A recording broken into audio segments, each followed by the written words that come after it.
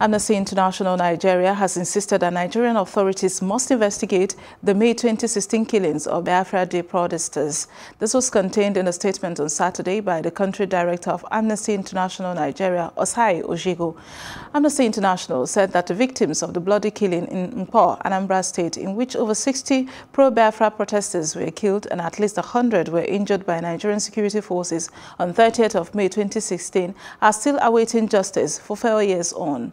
It noted that families and relatives of the victims of the 2016 massacre have been waiting, asking the Nigerian government to ensure that the suspected criminals responsible for the killings are brought to trial.